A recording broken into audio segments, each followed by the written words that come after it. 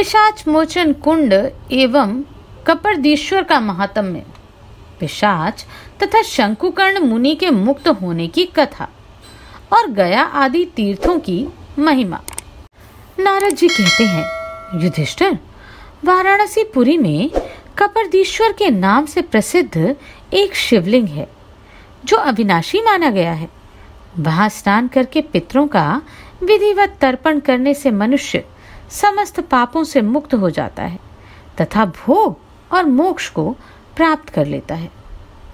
काशीपुरी में निवास करने वाले पुरुषों के काम, क्रोध, आदि दोष तथा संपूर्ण विघ्न कपरदीश्वर के पूजन से नष्ट हो जाते हैं। इसलिए परम उत्तम कपरदीश्वर का सदैव दर्शन करना चाहिए। यत्न पूर्वक उनका पूजन तथा वेदोक्त स्तोत्रों द्वारा उनका स्तवन भी करना चाहिए। कपरदीश्वर के स्थान में नियम पूर्वक ध्यान लगाने वाले शांतचित योगियों को छह मास में ही योग सिद्धि प्राप्त हो जाती है। इसमें तनिक भी संदेह नहीं है। पिशाच मोचन कुंड में नहाकर कपरदीश्वर के दर्शन से मनुष्य के ब्रह्म हत्या आदि पाप भी नष्ट हो जाते हैं। पूर्व काल की बात है कपरदीश्वर क्षेत्र में उत्तम व्रत का पालन करने वाले एक तपस्वी ब्राह्मण रहते थे। उनका नाम था शंकुकर्ण। वे प्रतिदिन भगवान शंकर का पूजन, रुद्र का पाठ तथा निरंतर ब्रह्म स्वरूप प्रणव का जप करते थे। उनका चित्त योग में लगा हुआ था। वे मरण पर्यंत काशी में रहने का नियम लेकर पुष्प, धूप आदि उपचार, स्तोत्र, नमस्कार और परिक्रमा आदि के द्वारा भगवान कपिलदीश्वर की आराधना करते थे। एक दिन उन्होंने देखा, एक भूखा प्रेत सामने आकर खड़ा है। उसे देख मुनिश्रेष्ठ शंकुकर्ण को बड़ी दया आई।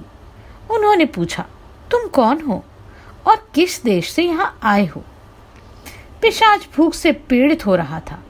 उसने शंकुकर्ण से कहा, मुने मैं पूर्व जन्म में धन धान्य से संपन्न ब्राह्मण था। मेरा घर पुत्र पौत्र आदि से भरा था। किंतु मैंने केवल कुटुंब के भरण पोषण में आसक्त रहने के कारण कभी देवताओं, गायों और अतिथियों का पूजन नहीं किया। कभी थोड़ा बहुत भी पुण्य का कार्य नहीं किया। अतः इस समय भूख प्यास से व्याकुल होने के कारण मैं हित अहित का ज्ञान खो बैठा हूँ। प्रभु, यदि आप मेरा उद्धार का कोई उपाय जानते हो तो कीजिए।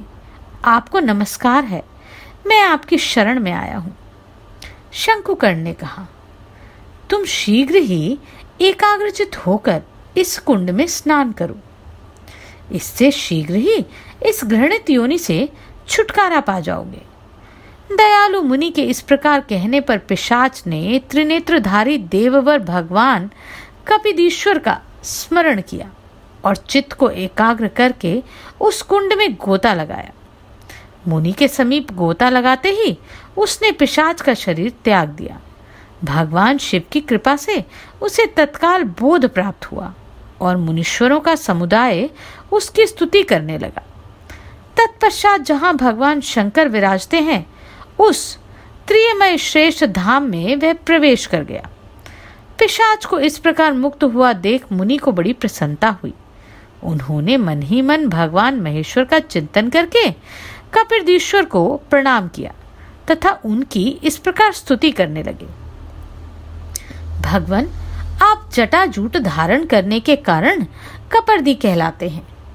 आप परात्पर सबके रक्षक, एक अद्वितीय पुराण पुरुष योगेश्वर, ईश्वर, आदित्य और अग्निरूप तथा कपिल वर्ण के वृषभ नंदीश्वर पर आरूढ़ हैं। मैं आपकी शरण में आया हूँ। आप सबके हृदय में स्थित सारभूत ब्रह्म है। हिरणमय पुरुष हैं, योगी हैं तथा सबके आदि और अनंत हैं। आप रू दुख को दूर करने वाले, अतः आपको रुद्र कहते हैं। आप आकाश में व्यापक रूप से स्थित महामुनि ब्रह्म स्वरूप एवं परम पवित्र हैं। मैं आपकी शरण में आया हूँ। आप सहस्त्रों चरण, सहस्त्रों नेत्र तथा सहस्त्रों मस्तकों से युक्त हैं। आपके सहस्त्रों रूप हैं। आप अंधकार से परे और वेदों की भी पहुँच के बाहर हैं। कल्याण उत्पादक होने से आपको शंभु कहते हैं। आप हिरण्य गर्भ आदि देवताओं के स्वामी तथा तीन नेत्रों से सुशोभित हैं। मैं आपको प्रणाम करता हूँ। जिनमें इस जगत की उत्पत्ति और लय होती है, जिन शिव स्वरूप परमात्मा ने इस समस्त दृश्य, प्रपंच को व्याप्त कर रखा है, तथा जो वेदों की सीमा से भी परे हैं, उन भगवान शंकर को प्रणाम करके मैं सदा के लिए उनकी शरण में आ पड़ा हूँ। जो लिंग रहित, अर्थात किसी की पहचान में न आने वाले, आलोक शून्य जिन्हें कोई प्रकाशित नहीं कर सकता, जो स्वयं प्रकाश है। स्वयं प्रभु चेतना के स्वामी एक रूप, तथा ब्रह्मा जी से भी उत्कृष्ट परमेश्वर हैं। जिनके सिवा दूसरी कोई वस्तु है ही नहीं, तथा जो वेद से भी परे हैं, उन्हें आप भगवान कपिदेश्वर को मैं नमस्कार करता हूँ। सबीज समाधि का त्याग करके निर्बीज समाधि को सिद्ध कर परमात्मा रूप एवं योगी जन जिसका साक्षात्कार करते हैं और जो वेद से भी परे है, वह आपका ही स्वरूप है। मैं आपको सदा प्रणाम करता हूँ। जहाँ नाम आदि विशेषणों की कल्पना नहीं है, जिनका स्वरूप इन चर्म चक्षुओं का विषय नहीं होता तथा जो स्वयंभू कारणहीन तथा वेद से परे हैं, उन्हीं आप भगवान शिव की मैं शरण में हूँ और सदा आपको प्रणाम करता हूँ। जो देह से रहित, ब्रह्म, अर्थात व्यापक, विज्ञानमय, भेद शून्य और एक अद्वितीय है। तथापि वेदवाद में आसक्त मनुष्य, जिसमें अनेकता देखते हैं, उस आपके वेदातीत स्वरूप को मैं नित्य प्रणाम करता हूँ, जिससे प्रकृति की उत्पत्ति हुई है। स्वयं पुराण पुरुष आप जिस तेज के रूप में धारण करते हैं, जिसे देवगण सदा नमस्कार करते हैं तथा जो आपकी ज्योति में सन्निहित है। उस आपके स्वरूप भूत बृहत काल को मैं नमस्कार करता हूँ। मैं सदा के लिए कार्तिकेय के स्वामी की शरण में जाता हूँ। स्थानु का आश्रय लेता हूँ। कैलाश पर्वत पर शयन करने वाले पुराण पुरुष शिव की शरण में पड़ा हूँ। भगवान, आप कष्ट हरने के कारण हर कहलाते हैं।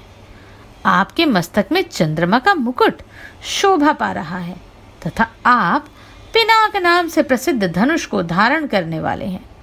मैं आपकी शरण ग्रहण करता हूँ।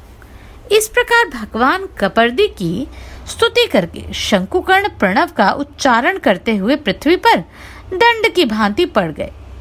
उसी समय शिव स्वरूप उत्कृष्ट लिंग का प्रादुर्भाव हुआ, जो ज्ञानमय तथा अत्यंत आनंद स्वरूप था। आग की भांति उसमें करोड़ों लपटें निकल रही थी।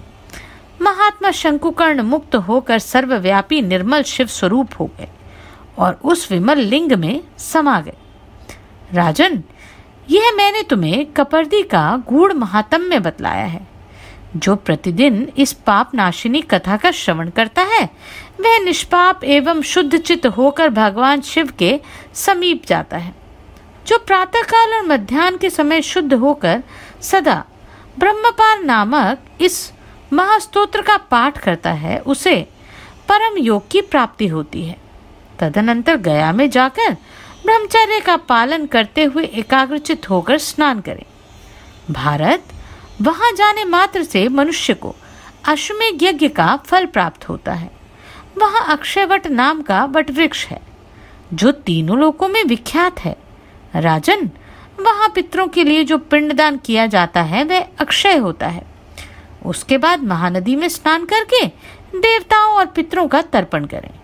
इससे मनुष्य अक्षय लोगों को प्राप्त होता है, तथा अपने कुल का भी उद्धार कर देता है। तत्पश्चात ब्रह्मारण्य में स्थित ब्रह्मसर को यात्रा करें। वहाँ जाने से पुंडरिक यज्ञ का फल प्राप्त होता है। राजेंद्र वहाँ से विख्यात धेनुक तीर्थ को प्रस्थान करें। वहाँ एक रात रहकर तिल की धेनु दान करें। ऐसा करने वाला पुरुष सब पापों से शुद्ध हो, निश्चय ही सोमलोक में जाता है। वहाँ बछड़े सहित कपिला गौ के पद चिन्ह आज भी देखे जाते हैं। उन पद चिन्हों में से जल लेकर आचमन करने से जो कुछ घोर पाप होता है, वह नष्ट हो जाता है। वहाँ से गृध्रवट की यात्रा करें। वह शूलधारी भगवान शंकर जी का स्थान है। वहाँ शंकर जी का दर्शन करके भस्म स्नान करें। सारे अंगों में भस्म लगाएँ। ऐसे करने वाला यदि ब्राह्मण हो तो उसे बारह वर्षों तक व्रत करने का फल मिल जाता है और अन्य वर्ण के मनुष्यों का सारा पाप नष्ट हो जाता है। तत्पश्चात उदय पर्वत पर जाए। वहाँ सावित्री के चरण चिन्हों का दर्शन होता है। उस तीर्थ में संध्योपासन करना चाहिए। इससे एक ही समय में बारह वर्षों तक संध्या करने का फल प्राप्त हो जाता है। तत्पश्चात वहीं योनि द्वार के पास जाए। वह विख्यात स्थान है। उसके पास जाने मात्र से मनुष्य गर्भवास के कष्ट से छुटकारा पा जाता है। राजन, जो मनुष्य शुक्ल और कृष्ण दोनों पक्षों में गया में निवास करता है। वह अपने कुल की सात पीढ़ियों का उद्धार कर देता है। इसमें तनिक भी संदेह नहीं है। राजन, तत्पश्चात तीर्थ सेवी मनुष्य फल्गु नदी के किनारे जाए। वहाँ जाने से अश्वमेघ यज्ञ का फल पाता और परम सिद्धि को प्राप्त होता है। तदनंतर एकाग्रचित हो धर्म पृष्ठ की यात्रा करें, जहाँ धर्म का नित्य निवास है।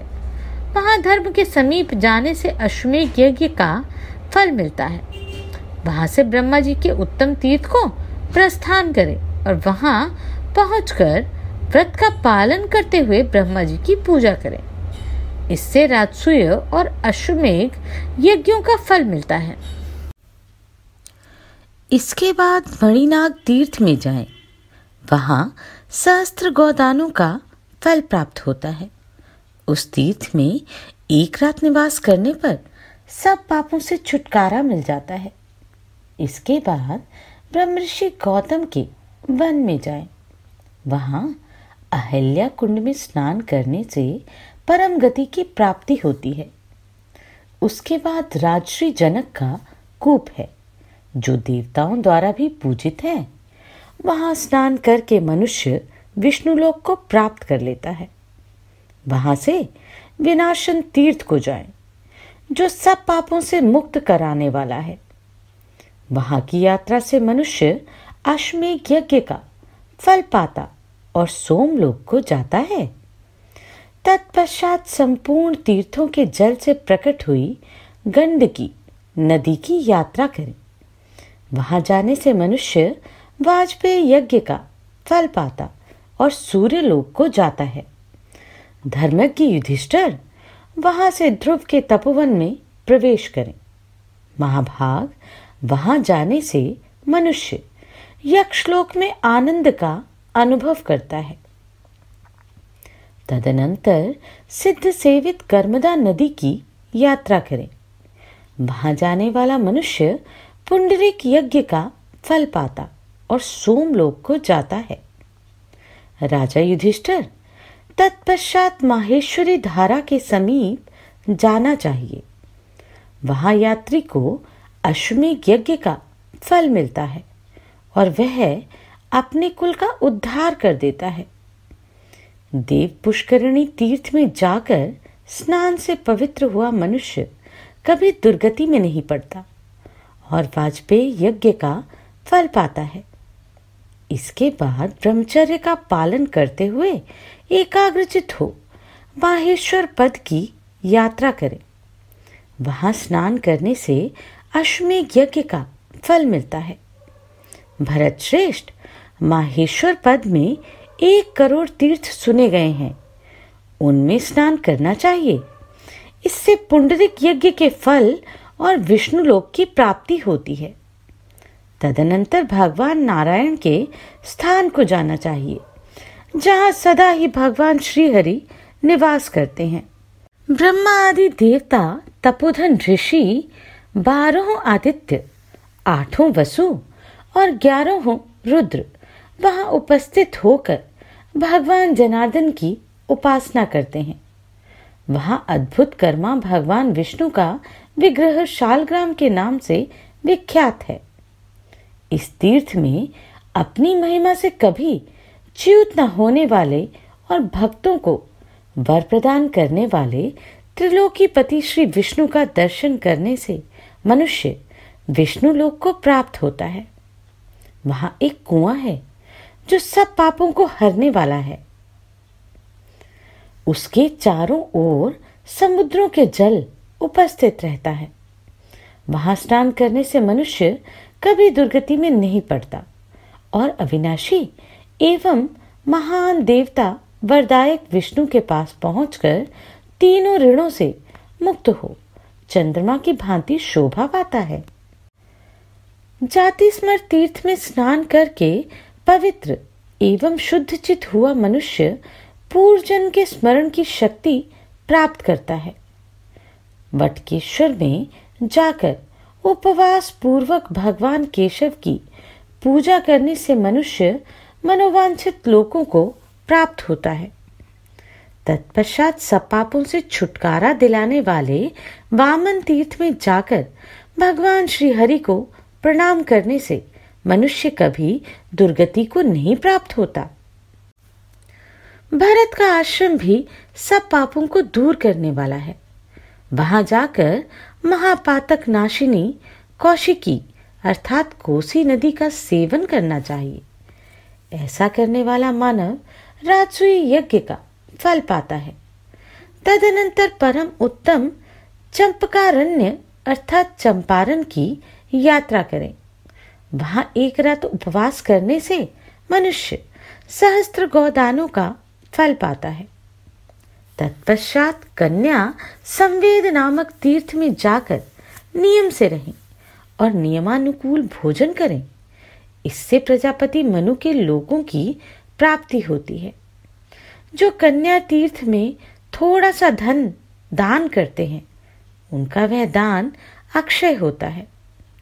निष्ठावास नामक तीर्थ में जाने से मनुष्य अश्वमेघ यज्ञ का फल पाता और विष्णु लोक को जाता है। नरश्रेष्ठ जो मनुष्य निष्ठा के संगम में दान करते हैं। वे शोक रोग से रहित ब्रह्मलोक में जाते हैं। निष्ठा संगम पर महर्षि वशिष्ठ का आश्रम है।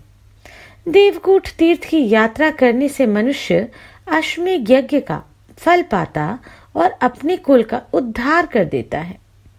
वहाँ से कौशिक मुनि के कुंड पर जाना चाहिए। जहाँ कुशिक गोत्र में उत्पन्न महर्षि विश्वामित्र ने परम सिद्धि प्राप्त की थी। भरत श्रेष्ठ महाधीर पुरुष को कौशिकी नदी के तट पर एक मास तक निवास करना चाहिए।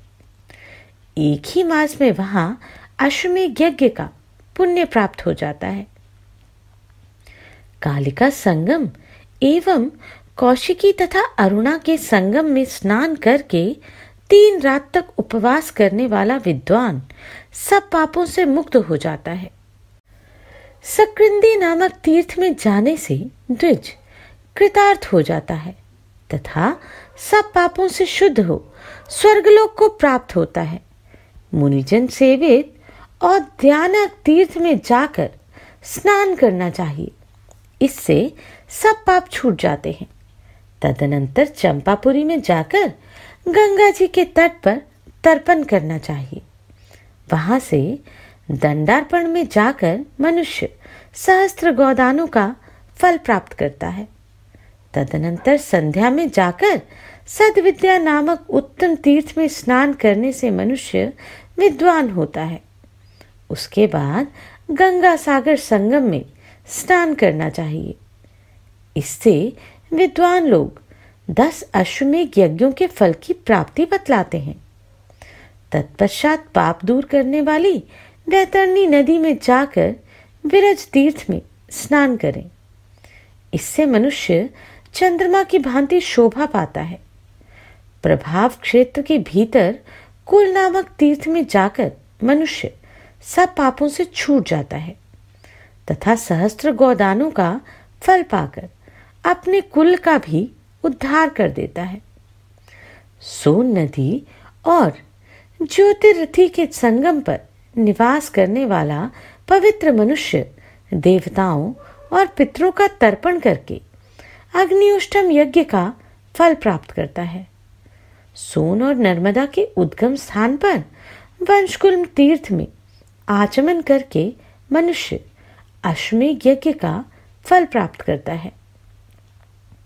कौशला के तट पर ऋषभ तीर्थ में जाकर तीन रात उपवास करने वाला मनुष्य अश्वमेघ यज्ञ का फल पाता है। कौशला के किनारे काल तीर्थ में जाकर स्नान करें तो ग्यारह बैल दान करने का पुण्य प्राप्त होता है। पुष्पवती में स्नान करके तीन रात उपवास करने वाला मनुष्य सहस्त्र गौदानों का फल पाता और अपने कुल का भी उद्धार कर देता है। तदनंतर जहाँ परशुराम जी निवास करते हैं, उस महेंद्र पर्वत पर जाकर राम तीर्थ में स्नान करने से मनुष्य अश्वमेघ यज्ञ का फल पाता है। वहीं मतंग का क्षेत्र है, जहाँ स्नान करने से सहस्त्र गौदानों का फल मिलता है। उसके बाद श्री पर्वत पर जाकर नदी के किनारे स्नान करें। वहाँ देवहृद में स्नान करने से मनुष्य पवित्र एवं शुद्ध चित्त हो। अश्वमेघ यज्ञ का फल पाता और परम सिद्धि को प्राप्त होता है। तदनंतर कावेरी नदी की यात्रा करें। वहाँ स्नान करके मनुष्य सहस्त्र गौदानों का फल पाता है। वहाँ से आगे समुद्र के तटवर्ती तीर्थ में, जिसे कन्या तीर्थ कहते हैं, जाकर स्नान करें। वहाँ स्नान करने से मनुष्य सब पापों से मुक्त हो जाता है। तदनंतर समुद्र मध्यवर्ती गौकर्ण तीर्थ में जा भगवान शंकर की पूजा करके तीन रात उपवास करने वाला मनुष्य दस अश्वमेघ यज्ञों का फल पाता और गणपति पद को प्राप्त होता है। बारह रात तक वहाँ उपवास करने वाला मनुष्य कृतार्थ हो जाता है। उसे कुछ भी पाना शेष नहीं रहता। उसी तीर्थ में गायत्री देवी का भी स्थान है, जहाँ तीन रात उपवास करने वाले को सहस्त्र गोदान का फल मिलता है। तत्पश्चात सदा सिद्ध पुरुषों द्वारा सेवित गोदावरी की यात्रा करने से मनुष्य गवा में यज्ञ का फल पाता और वायुलोक को जाता है। वीणा के संगम में स्नान करने से वाजपेयी यज्ञ का फल प्राप्त होता है। और वर्धा संगम में नहाने से सहस्त्र गोदान का फल मिलता है।